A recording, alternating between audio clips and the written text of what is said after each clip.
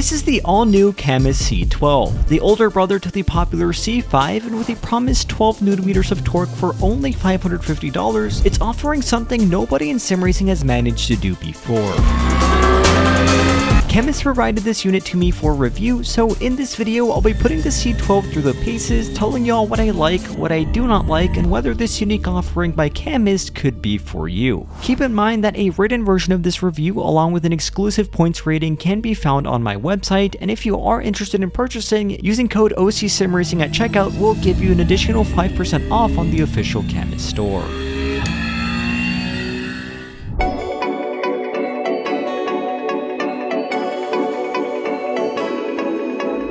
Fully redesigned but with the same concept as the older C5, the Cammus C12 integrates the direct drive motor onto the wheel rim itself, with a smaller optional desk clamp holding everything up.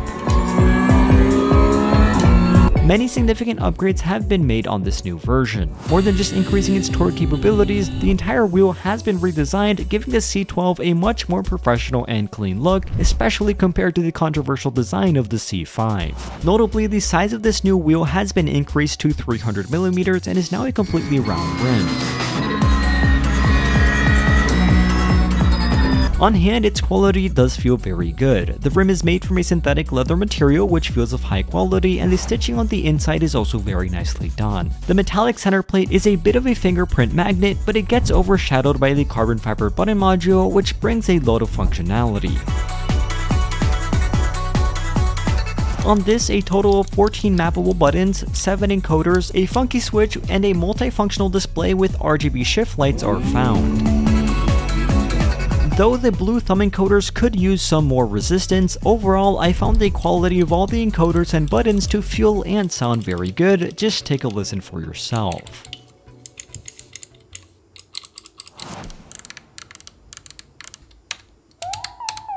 The ergonomics of this rim are okay, but could be slightly better. For starters, adding a slight groove where your hand rests would make it feel more comfortable, and increasing the space in between the rim and the thumb encoders would make it far easier to press down, that being something that is very hard to do with the current stock rim. I say stock rim because by removing this 6 bolts in the center cap, the entire wheel can actually be pulled out and swapped in for any third party rim with the same mounting pattern. Unfortunately, there appears to be something just slightly poking out from inside of the housing, meaning that unless you have a spacer or a wheel rim without a center cap laying flush with the rim, you won't be able to actually mount it. This seems like a big oversight by Cammus and hopefully something that gets fixed in future units. All in all though, from just a design perspective, this has been a big step up from Cammus, and the large 300mm round wheel will provide loads of versatility, especially for those who are limited by the D-shape of the C5. Taking a look behind the wheel, here you'll find the magnetic carbon fiber paddle shifters and not the quick release system, but rather the entire direct drive motor.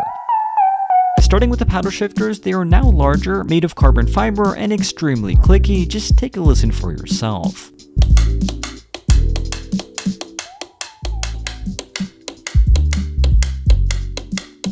From a feel and responsiveness perspective, they are very well made, although it wouldn't hurt to make them just a tad longer. Anyways, the 12Nm direct drive motor is housed in an entirely aluminum alloy casing and features a unique mounting system which is sold separately for $30, but isn't entirely necessary if you're using a cockpit or wheel stand.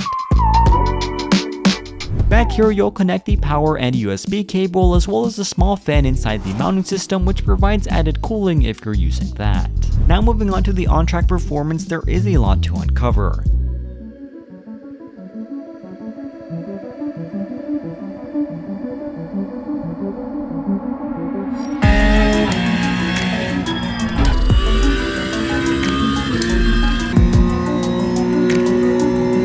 Immediately, the 12Nm max torque of this wheelbase does become apparent. At this price range, I've never felt a wheelbase which can put out this much force and resistance, this being something that a lot of people value, especially when immersing themselves with older cars with no power steering, for example.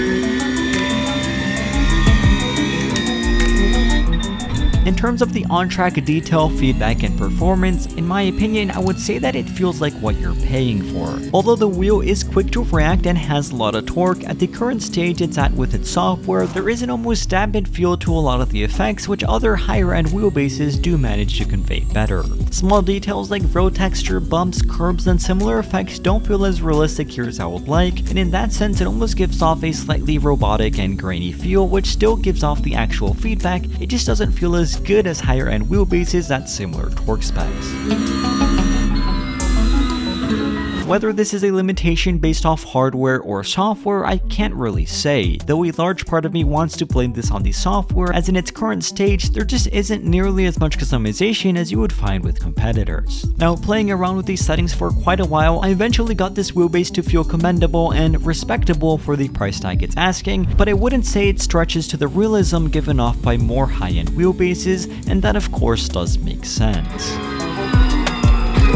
Worth noting is that several hours into use, the C12 still remained consistent and silent in operation, and under passionate use it still remained perfectly rigid with no sort of flex. In my opinion, the greatest selling point to the C12 is for those on a tight budget who very much value the immersion given off by a strong wheel that you can fight against and really feel that kick to. However, for those who want the max in terms of detail, feedback, and on-track performance, the C12 does a good job for the price, but stretching your budget just a little bit more will get you further in this regard.